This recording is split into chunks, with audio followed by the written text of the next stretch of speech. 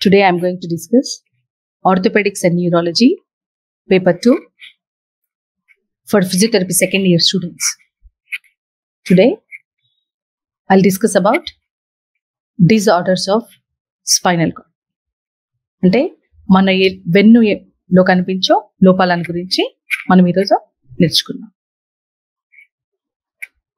so spinal cord disorders in this we're going to sing spina bifida transverse myelitis syringomyelia spinal tumours okay these four we're going to see ఈ నాలుగు మనం చూస్తాం. Spina bifida transverse myelitis syringomyelia and spinal tumours okay ప్రతి దాని గురించి మనం డీటెయిల్గా ఈరోజు నేర్చుకుంటాం.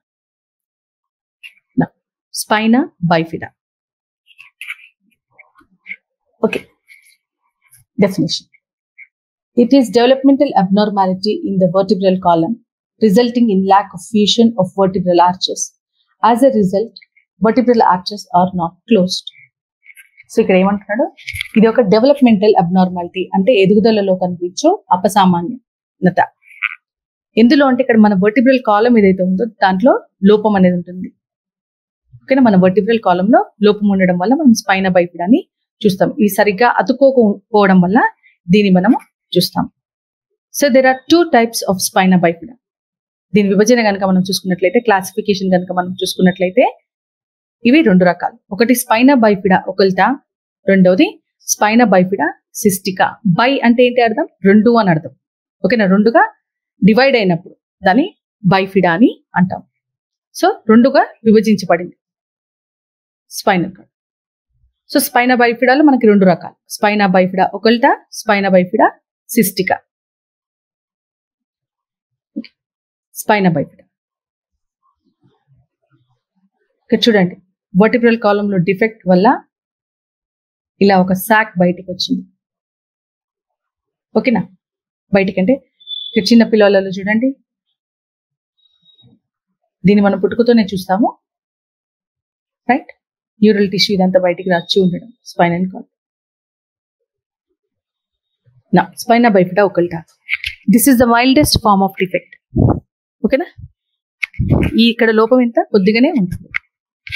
There is a defect in the fusion of laminal arch ఓకేనా మన వర్టిబ్రల్ బాడీస్లో బాడీస్లో ఉన్న లామినే యొక్క ఆర్చ్ సరిగ్గా ఫ్యూస్ కాకపోవడం వల్ల మనం ఈ లోపాన్ని గమనిస్తాం. A band of fibrous tissue between the skin and vertebrae causes dimple over the skin ఓకేనా మనం వాళ్ళ వెన్నును కనుక గమనించినట్లయితే ఇక్కడ ఒక లొంతను మనం గమనించవచ్చు. Okay? Tuft tuft hair is present okay? ఇక్కడ అలాగే కాకుండా ఇక్కడ ఏమవుతుంది వెంట్రుకలు కూడా ఉంటాయి. Nervous tissue is not affected. So ఈ స్పైనా బైఫిడా ఒకల్టా అనే కండిషన్లో నర్వస్ టిష్యూ ఓకేనా? మన నాడీ కణాలు ఓ ఏమి? ఎఫెక్ట్ కావు. దానిపైన ఏం ప్రభావం చూపించదు. చూడండి ఇక్కడ రెండు బోన్స్ మధ్యలో గ్యాప్ దీని నుండి బయటకు బయటికి వస్తూ ఉంటుంది. Spina bifida cystica it is of three types ఒకటి గురించి చూసుకున్నాం చదువుకున్నాం నా స్పైన బైఫిడా సిస్టికా ఇది మూడు రకాలు. ఒకటి మైలోసీల్ రెండు మెనింజోసీల్ మూడోది మైలో మెనింజోసీల్ సో మైలోసీల్ అంటే the spinal cord is exposed so that nerve tissues lies exposed on the surface of the back without even a covering of skin or of meninges. The membranous tissue surrounding the brain and spinal cord. ఇక్కడ ఏమైందంటే ఈ spinal cord అనేది బయటికి కనిపిస్తుంది. ఓకేనా? ఇది వెన్నులో ఉన్న లోపంలో వల్ల బయటికి వచ్చేస్తుంది కనీసం దానిపైన కవరింగ్ కూడా ఉండదు. అంటే చర్మంతో కవరింగ్ అనే అయి ఉండొచ్చు లేదా మన మెనింజెస్తో కవరింగ్. మెనింజెస్ అంటే ఏంటి? Covering of brain and spinal cord called as meninges ఓకేనా? అవి త్రీ లేయర్స్ ఉంటాయి కదా వాటి కవరింగ్స్ ఏది కూడా ఉండదు. డైరెక్ట్గా అది బయటికి మనకి కనిపిస్తా ఉంటది. చూడండి మళ్ళీ ఒకసారి చూపిస్తాను. చూడండి ఇక్కడ. పైన బయట ఇదంతా కూడా బయటికి కనిపిస్తా ఉంది చూడండి ఇక్కడ.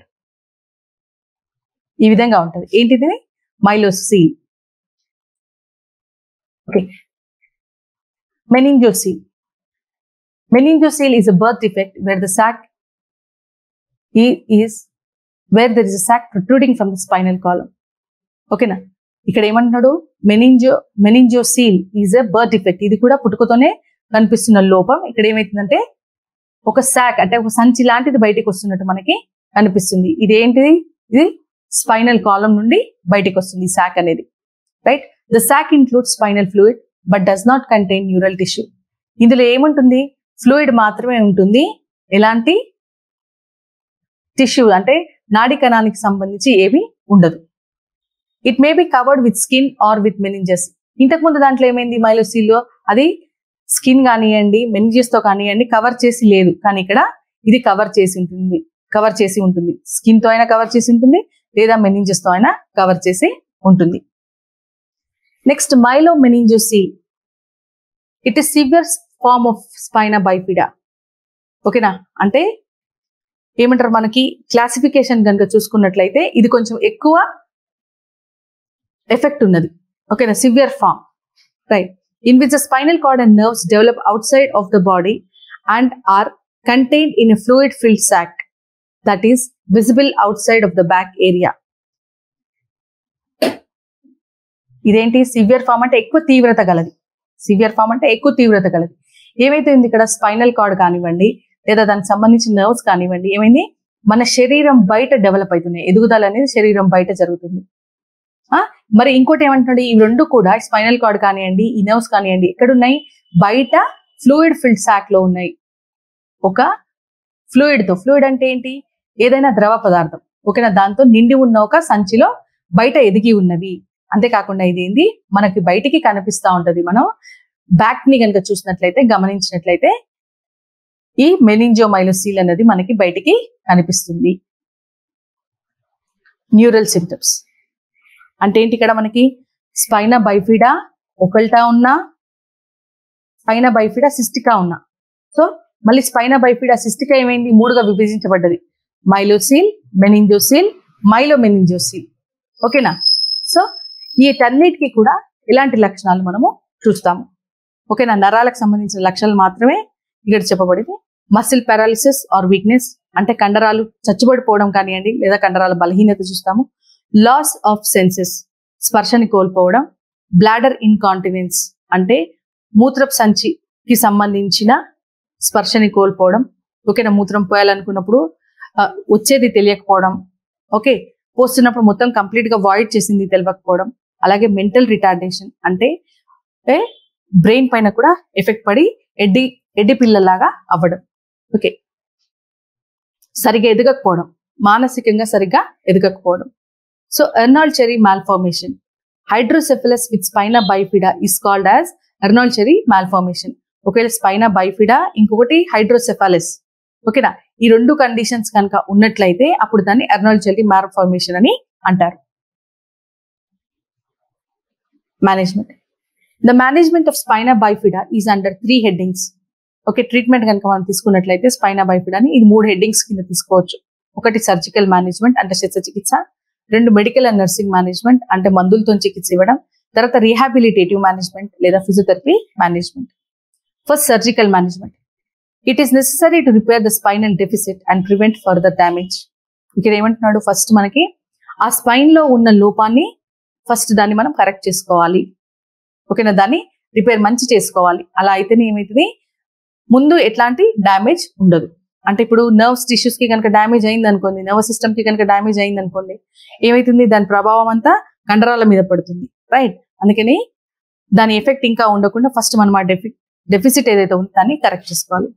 Continuous strain for the excess cerebro spinal fluid produced in the brain ఒకవేళ సెరిబ్రో స్పైనల్ ఫ్లూయిడ్ కనుక ఎక్కువ మోతాదులో ఉత్పత్తి అవుతున్నట్లయితే మన బ్రెయిన్లో ఓకేనా? దాన్ని ఎప్పటికప్పుడు బయటికి తీసివేస్తూ ఉండాలి.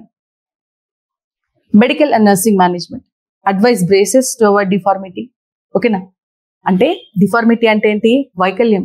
వాటిని నివారించడానికి ఏమంటున్నాడు? బ్రేసెస్ని ధరించమని సలహా ఇవ్వాలి అని చెప్తున్నాడు. ఏం చేస్తాయి ఈ బ్రేసెస్ సపోర్ట్ చేస్తాయి. పొజిషన్ని మెయింటైన్ చేస్తుంది. అలాగే మసిల్స్ యొక్క లెంత్ తగ్గకుండా చూస్తుంది. Prophylactic antibodies to prevent infection ఇలాంటి ఇన్ఫెక్షన్స్ కూడా రాకుండా ముందు జాగ్రత్త చర్యగా ఏమనివ్వాలి? యాంటీబయాటిక్స్ని పేషెంట్కి వేసుకోమని చెప్పాలి. ఇదంతా డాక్టర్స్ చూసుకుంటారు. Sterile dressings for surgical wounds ఒకవేళ సర్జరీ కనుక చేసినట్లయితే దానికి ప్రాపర్గా డ్రెస్సింగ్ అనేది చేయాలి. Counselling the patient. ఇక్కడ ఏమింటుంది? మామూలుగా స్పైన బైపిడా అంటే చిన్న పిల్లలు ఉంటారు. సో కౌన్సిలింగ్ ద పేషెంట్ అనే దానికన్నా ఇక్కడ ఏంటి మనము కౌన్సిలింగ్ తల్లిదండ్రులకి ఇవ్వాలి. ఓకేనా? వాళ్ళ గ్రాండ్ పేరెంట్స్కి ఇవ్వాలి. Rehabilitative management aims to provide psychological support. Okay? అక్కడ ఉన్న తల్లిదండ్రులకి ఏంటి ఇప్పుడు మనం చెప్తాం ఏమైంది ఇక్కడ స్పైన్ బైఫిడా ఏమైంది ఇట్లా వెన్ను? లోపల ఉండాల్సిన వెన్ను స్పైన్ ఏదైతే ఉందో అది బయటకు వచ్చింది అనగానే అందరు భయపడిపోతారు. ఎందుకంటే కాళ్ళు ఇక్కడ చచ్చిపడిపోయి ఉంటాయి. ఆ, వాళ్ళకి ఎలాంటి స్పర్శ ఉండదు. పిల్- పిల్లల్ని కనుక గమనించినట్లయితే కాలు కుట్టుకోవడం అనేది ఉండదు. సరే చిన్న పిల్లలు కనుక మూత్ర మూత్ర విసర్జన అనేది జరుగుతూ ఉంటది కనుక అది అప్పుడే మనకి ఆ లోపం అనేది వాళ్ళకి తెలియదు. సో ఇక్కడ కాళ్ళు కదిలించకపోలేడు అంటే పేషెంట్ నడవలేడు బాబు నడవలేడు అనేది అక్కడ అర్థమైపోతుంది. వాళ్ళు ఎంతో వేదనకి గురవుతారు. సో వాళ్ళకి మనము సైకలాజికల్ సపోర్ట్ ఇవ్వాలి. To prevent abnormal movements pattern ఓకేనా సో ఎదుగుదల కదలికలు అనేవి సరిగ్గా జరగకుండా అపసామాన్యంగా జరుగుతూ ఉంటాయి కనుక వాటిని అరికట్టడం. టు ప్రివెంట్ కాంట్రాక్చర్స్ కండరాలు ముచ్చుకుపోకుండా చూడటం. టు మెయింటైన్ ఫంక్షనల్ క్యాపబిలిటీ వీలైనంత వరకు పేషెంట్ తన విధులను తాను పూర్తిగా నిర్వహించుకునేటట్లు వారిని తయారు చేయడం. Plans explain the patient about the condition and importance of physiotherapy and gain confidence in okay ఇక్కడ ఏమని చెప్పాను? పేషెంట్ కన్నా పేరెంట్స్ అని చెప్తే బాగుంటుంది. ఇక్కడ వాళ్ళ కండిషన్ గురించి ఎక్స్ప్లెయిన్ చేసి ఫిజియోథెరపీ ఏ విధంగా సహాయపడుతుందో చెప్పి వాళ్ళ యొక్క నమ్మకాన్ని గెలుచుకోవాలి. Deformities can be reduce by application of splints ఓకేనా వైకల్యాలని స్ప్లింట్లను ధరిస్తూ మనం అరికట్టుకోవచ్చు. Night splinting for abnormal positioning ఓకేనా? డే టైంలో అయితే మనం చూసుకుంటూ ఉంటాం. రాత్రిపూట సరిగ్గా పొజిషన్ చేసి ఉండాలి అనుకుంటే నైట్ స్ప్లింట్లని వాడాలి. To improve circulation passive movements are done ఇక్కడ ఏమంటాడంటే రక్త ప్రసరణ అనేది సరిగ్గా జరగాలి కనుక ప్యాసివ్ మూవ్మెంట్స్ చేస్తూ ఉండాలి. కాళ్ళకి. ఓకే? కాళ్ళకి చేతులకి. మాక్సిమం ఏముంటుంది అంటే లోవర్ లింబే బాగా ఎఫెక్ట్ అయి ఉంటుంది. Okay? Passive mobilization techniques to increase joint range of motion. Right. Correct sitting posture is achieved by the use of orthosis and it also helps in correction of spinal deformities. ఓకేనా ఇప్పుడు ఏమైంది పిల్లలు ఎదుగుతూ ఉంటారు sitting time వచ్చినప్పటికీ వాళ్ళని సరిగ్గా pastures orthosis వేసి కూర్చోబెట్టాలి ఈ ఆర్థోసిస్ అనేది ఎందుకు వేయాలి అంటే వెన్నులో రుగ్మతలను తగ్గించుకోవడానికి లేదా ఒకవేళ రుగ్మతలు ఆల్రెడీ ఏర్పడినట్లయితే వాటిని కరెక్ట్ చేసుకోవడానికి. ఓకేనా స్పైనల్ డిఫార్మిటీస్ ఏమేమి చూసారు? Kyphosis scoliosis lordosis okay right different supportive devices are use depending upon the case they are standing frames walkers HKAFO KAFO and AFO ఇక్కడ ఏంటిదంటే పిల్లవాడు ఏంది పుట్టగానే ఈ లోపం ఉంది అని ఎదగకుండా ఉంటాడు కదా పెద్ద అవుతా ఉంటాడు. ఓకేనా అట్లా అని వదిలేయలేము. నడిపిస్తా ఉండాలి వాళ్ళని. సో వాళ్ళకి తగ్గట్టుగా మనము సపోర్టింగ్ డివైస్ వాళ్ళకి ఆధారాన్ని ఇచ్చే పరికరాలను ఎన్నుకొని పేషెంట్స్ని నడిపిస్తూ ఉండాలి. ఓకే ఇప్పుడు ఏంటి వాళ్ళకి? హిప్ నీ? యాంకిల్ ఫుట్ ఆర్థోసిస్ హెచ్కేఏఎఫ్ఓ ఓకేనా హెచ్కేఏఎఫ్ఓ అంటే హిప్ నీ యాంకిల్ ఫుట్ ఆర్థోసిస్ వేసామనుకోండి. వేసిన తర్వాత ఏం చేయాలి? వాళ్ళకి స్టాండింగ్ ఫ్రేమ్స్ ఇచ్చేసి ఓకేనా అంటే వాకర్ ఇచ్చేసి పేషెంట్ని నడిపించాలి. కేఎఫ్ఓ అంటే నీ యాంకిల్ ఫుట్ ఆర్థోసిస్ అంటే ఇక్కడ మనం ఎట్లా సెలెక్ట్ చేసుకుంటాము? ఎక్కడి నుంచి పేషెంట్కి లోపం ఉంది? తొంటి దగ్గర నుంచే ఉందా? మోకాలు పైనుండి ఉందా? పాదంలో మాత్రమే ఉందా? ఎక్కడి నుంచి లోపం ఉంటే దానికి తగ్గట్టుగా మనం ఆర్థోసిస్ని ఎన్నుకొని పిల్లవాడికి ఇచ్చి నడిపించాలి. Strengthening exercises for arms trunks and lower limb ఓకేనా కండరాలు బలపరిచే ఎక్సర్సైజ్ చేయించాలి. వేటికి అంటే అప్పర్ లిమ్కి ఆర్మ్స్కి. ఓకే అలాగే ట్రంక్కి. అంతేకాకుండా లోవర్ లిమ్స్కి. ఒకవేళ పేషెంట్ చేయలేని పరిస్థితిలో ఉంటే ప్యాసివ్ మూమెంట్స్ చేయండి. పేషెంట్ చేయగలిగితే యాక్టివ్ మూమెంట్స్ చేయండి. ఆ కండరాలు బాగానే ఉంటే అంటే అన్ని కండరాలు ఉండవు. ఉన్న కండరాలకు ఏం చేయాలి? చిన్నగా స్ట్రెంథనింగ్ ఎక్సర్సైజ్ చేయించాలి. ఎందుకంటే వాటి బలం కూడా తగ్గిపోకుండా చూసుకోవడానికి. Child should be trained wheel for wheelchair ambulation ఒకవేళ పిల్లవాడు పై ఇచ్చినవి ఏవి ఏమైనా డివైసెస్ వేసుకొని నడవలేనప్పుడు వాళ్ళకి వీల్ చైర్ అంబులేషన్లో కూడా శిక్షణ ఇవ్వాలి. అంటే అది ఎట్లా ఆపరేట్ చేయాలి ఏంటి అనేది కూడా పిల్లవాడికి ట్రైనింగ్ ఇవ్వాలి. Proper hygiene should be maintain at inguinal area to prevent infection ఓకేనా ఇక్కడ ఏమైతుంది ఇక్కడ వాళ్ళకి బ్లాడర్ ఇన్కాంటినెన్స్ ఉంది. అంటే ఏమైతుంది? బ్లాడర్ ఇన్కాంటినెన్స్ అంటే ఏంటి? పేషెంట్కి మూత్రం డ్రాప్ బై డ్రాప్ డ్రాప్ కొంచెం కొంచెం కొంచెం కొంచెం పోస్తూనే ఉంటారు వాళ్ళు. అలాంటప్పుడు ఏమవుతుంది ఇన్ఫెక్షన్ రావడానికి పాసిబిలిటీ ఉంటుంది. ఓకేనా యూరిన్ ఇన్ఫెక్షన్ రావడానికి పాసిబిలిటీ ఉంటుంది. అందుకని చెప్పేసి వీలైనంత వరకు ఆ ఏరియాలో క్లీన్గా ఉండేటట్టు చూసుకోవాలి. ఇప్పుడు డైపర్స్ వస్తున్నాయి కనుక డైపర్స్ వేస్తా ఉంటారు. ఎవ్రీ సిక్స్ అవర్స్కి ఒకసారి ఆ డైపర్స్ని మార్చమని చెప్తూ ఉండాలి. The skin of the child should be well protected and child should be kept away from objects of extreme temperature and sharp edges ఇక్కడ ఏంటంటే పేషెంట్ ఇక్కడ పిల్లవాడికి లేదా పేషెంట్కి స్పర్శలో లోపం ఉంటుంది. స్పర్శను కోల్పోతాడు కనుక పేరెంట్స్ని రెగ్యులర్గా చెక్ చేసుకోమని చెప్పాలి. అలాగే పిల్లలని ఎక్స్ట్రీమ్ టెంపరేచర్స్ అంటే బాగా చల్లగా ఉన్న వాటికి బాగా వేడిగా ఉన్న వాటికి దూరంగా ఉంచాలి. అలాగే కొషగా ఉన్న వస్తువులకి కూడా దూరంగా ఉంచాలి. Child skin is skin is inspected every day for any injury రోజు చూసుకోమని చెప్పాలి. చర్మాన్ని అంతా కూడా ఒకసారి పాదాలని కాళ్ళని అన్ని కూడా ఒకసారి సరి చూసుకోమని చెప్పాలి. ఓకేనా? ఇలాంటి ఏమన్నా గాయాలైనాయో చూసుకోమని చెప్పాలి. ఒకవేళ గాయాలు కనుక అయినట్లయితే దాన్ని బట్టి మళ్ళీ చికిత్స ఇవ్వాలి. ఓకే నెక్స్ట్ కండిషన్ వచ్చేసి ట్రాన్స్ఫర్ మైలైటిస్ ఓకేనా ఇక్కడ చూడండి. పేరు. ట్రాన్స్ఫర్స్ అంటే అడ్డంగా మై అంటే మైలిన్ షీట్స్ అయి ఉండొచ్చు okay meninges nerve tissue in other words itis అంటే inflammation okay it is an inflammation of several spinal cord segments which may progress upwards or remain stationary ఇక్కడ ఏమంటుండే ట్రాన్స్ఫర్స్ అంటే ఒక లెవెల్లో స్పైనల్ కార్డ్ యొక్క inflammation అనేది జరగవచ్చు సో ఈ లెవెల్లో జరిగిన తర్వాత అది పైకి పాకొచ్చు పైకి లేదా క్రిందికి లేదా ఒకే ప్లేస్లో ఉండిపోవచ్చు. ఓకేనా? అని చెప్తున్నాడు. ఈటియాలజీ ఏంటి అంటే దీనికి కారణం ఏంటి? ఈ ట్రాన్స్ఫర్ స్మైలటిస్ రావడానికి గల కారణం ఏంటి అంటే మమ్స్ లేదా రూబెల్లా అనే వైరల్ ఇన్ఫెక్షన్ వల్ల ఆ రెండు ఇన్ఫెక్షన్స్ వస్తే దాని తదుపరి ఇది రావడానికి పాసిబిలిటీ ఉంటుంది. ఏమన్నాడు it is inflammation of several spinal cord segments which may progress upwards or remain stationary clinical features it depends upon the part of spinal cord involve అంటే స్పైనల్ కార్డ్లో ఏ భాగం మీద ప్రభావం ఉంది ఏ భాగం ఎఫెక్ట్ అయింది దానిపైన మనకి లక్షణాలు కనిపిస్తాయి. ఒకవేళ యాంటీరియర్ యాంటీరియర్ హార్న్ ఇన్వాల్వ్ అయింది అనుకోండి ఏం చూస్తాము అంటే మసిల్ పారాలిసిస్ ఆర్ వీక్నెస్ కండరాల కండరాల పక్షవాతం లేదా బలహీనత చూస్తాము. హైపర్ రిఫ్లెక్సియా అంటే మనం రిఫ్లెక్సెస్ కనుక తీసుకున్నట్లయితే అవి ఎక్కువగా స్పందించడం అనేది మనము గమనిస్తాము. ఓకేనా నీ జోక్ కనుక చూసామనుకోండి చిన్న స్టిమ్యులస్ కే పెద్ద రెస్పాన్స్ రావడం లేదా మాటి మాటికి రెస్పాన్స్ రావడం అనేది మనం ఇక్కడ గమనిస్తాం. ఒకవేళ సెన్సరీ పాత్వే ఇన్వాల్వ్ అయితే అంటే ఏంటిది? ఇక్కడ ఏమైతుంది? మనం ముట్టుకున్నప్పుడు ఆ స్పర్శ సెన్సరీ పాత్వే ఏం చేస్తుంది? మన చర్మం నుండి మన స్పైనల్ కార్డ్కి తీసుకెళ్తుంది. ఒకవేళ ఆ పాత్వే కనుక ఇన్వాల్వ్ అయితే ఆ దారి కనుక ఇన్వాల్వ్ అయితే సెన్సరీ లాస్ ఉంటుంది. అంటే స్పర్శన అనేది మనము కోల్పోతాము. అటోనమిక్ పాత్వే ఇన్వాల్వ్మెంట్ ఉన్నప్పుడైతే ల్యాక్ ఆఫ్ స్వెట్టింగ్ అంటే చెమట రాకపోవడం ల్యాక్ ఆఫ్ సలైవేషన్ అంటే ఇప్పుడు చూడండి మనం ఏదైనా తినాలి అనుకున్నాము అనుకోండి లేదా నేను వస్తువు తినండి అని తెచ్చిపెట్టినాను అనుకోండి ఏమైతుంది? ఆటోమేటిక్గా నో- నోట్లో లాలాజరం అనేది ఉత్పత్తి అవుతుంది. సో అది కూడా ఉండదు. అలాగే లాస్ ఆఫ్ సూడోమోటార్ రెస్పాన్స్ అంటే ఏంటి అంటే ఇక్కడ కండరాల యొక్క ఆ పనితనం మనకు కనిపించదు. దేనికి కూడా స్పందించవు.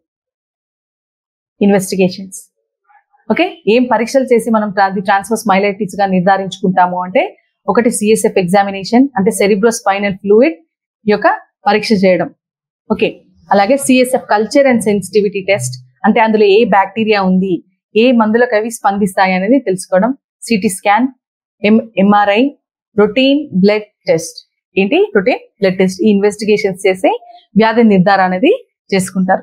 Treatment intravenous steroids plasma exchange therapy antiviral medication అంటే స్టీరాయిడ్స్ ఇవ్వాలి అని చెప్తున్నాడు. ప్లాస్మా ఎక్స్చేంజ్ థెరపీ అని చెప్తున్నారు. అలాగే వైరస్ కనుక ఇక్కడ ఇన్ఫెక్షన్ వస్తుంది వైరస్ వల్ల కనుక యాంటీవైరల్ మందులు ఇవ్వాలి అని చెప్పేసి చెప్తున్నాను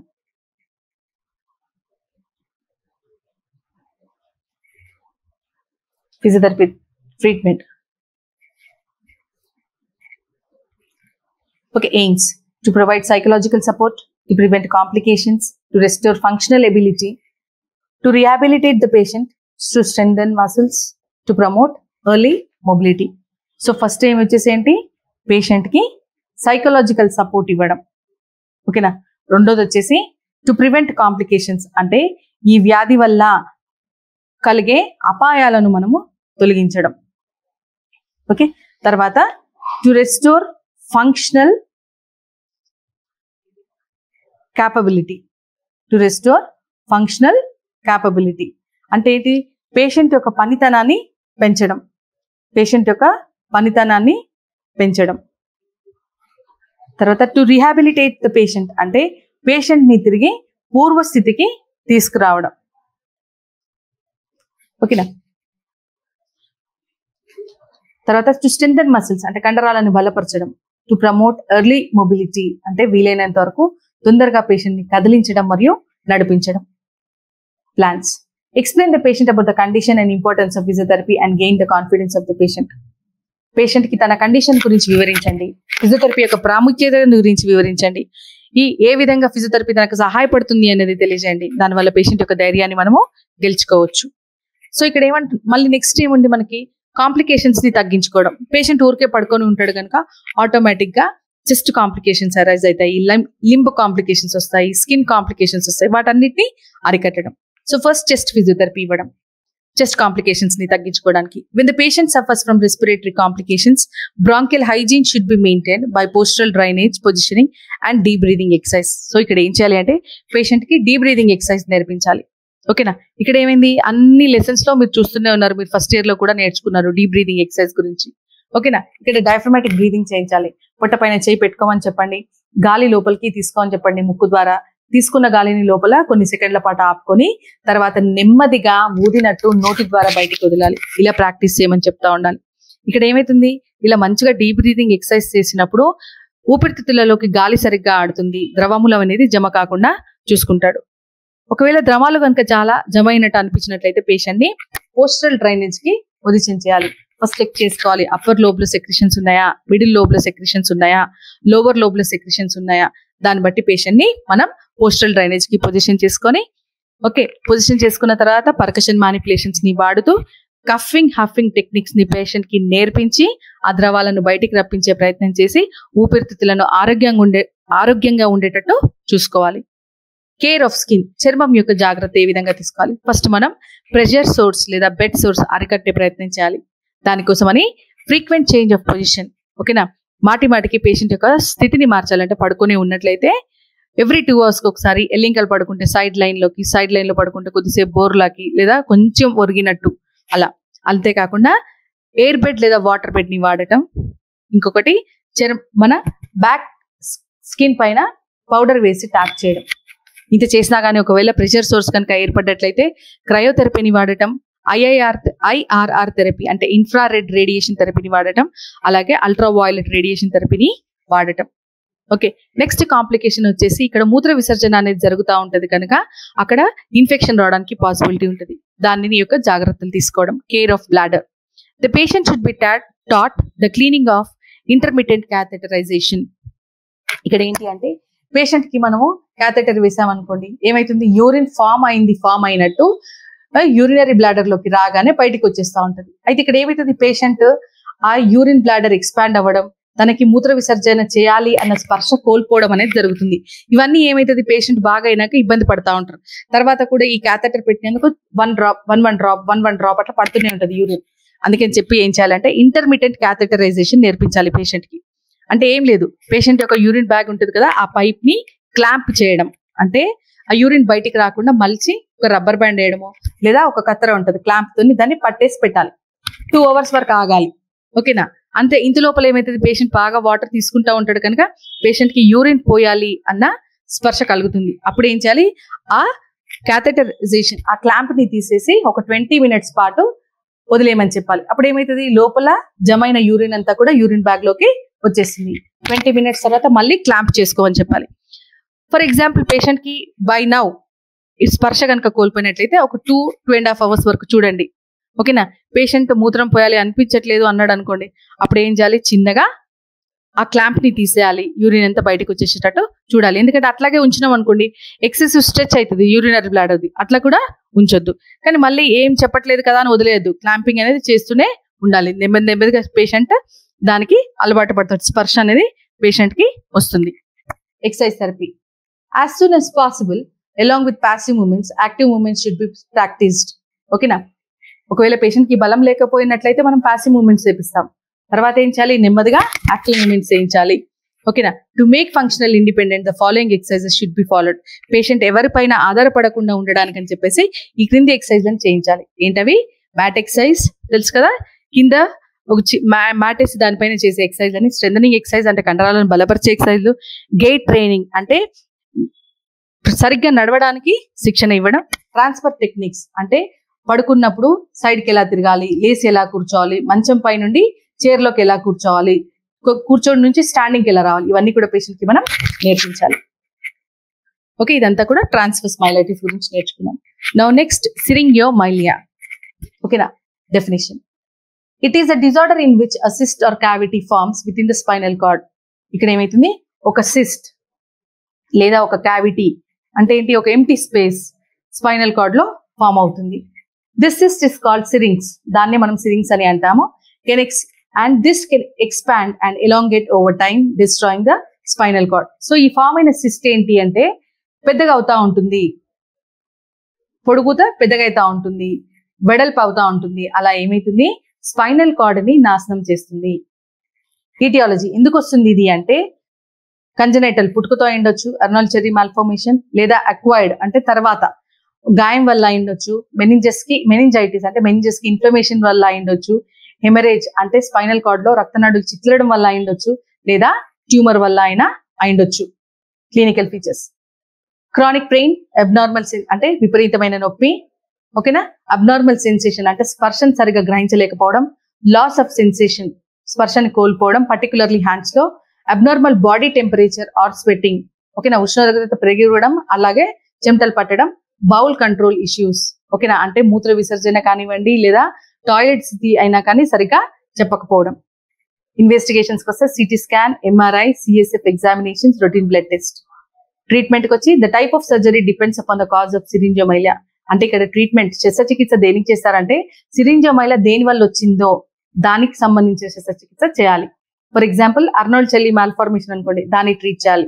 ఓకేనా? అంతేకాకుండా ఆ క్యావిటీని డ్రైన్ చేయడం ఒకవేళ లోపల ఏమైనా ఎక్స్ట్రక్షన్ ఉన్నట్లయితే దాన్ని తీసివేయడం తర్వాత ఇంకేమైనా అబ్నార్మాలిటీ ఉంటే దాన్ని కరెక్ట్ చేయడం.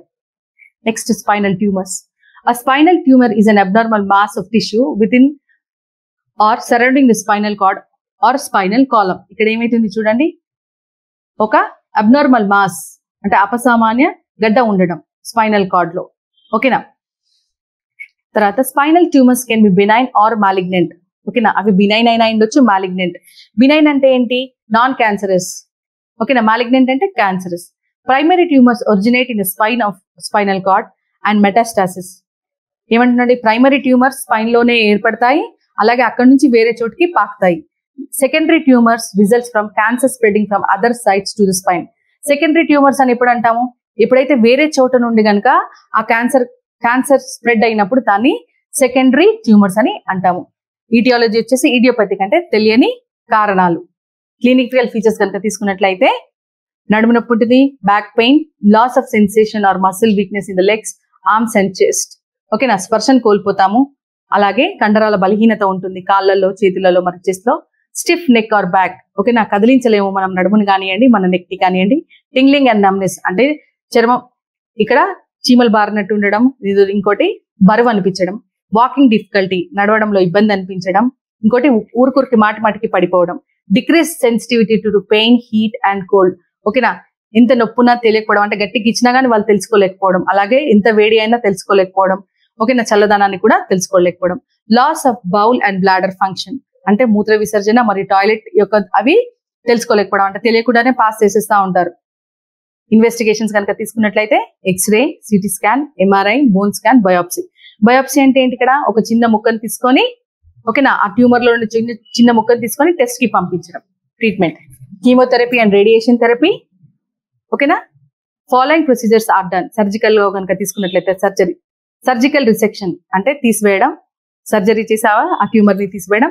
స్పైనల్ కార్డ్ కంప్రెషన్ అంటే ఇక్కడ స్పైనల్ కార్డ్ ఒకవేళ నరాల మీద ఒత్తిడి తెస్తున్నట్లయితే దాన్ని సరిచేయడం. మల్టీ లెవెల్ సెగ్మెంటల్ ఫిక్సేషన్ అంటే స్పైన్కి ఈ స్టెబల్ అయ్యేటట్టు చూడటం. ఓకేనా?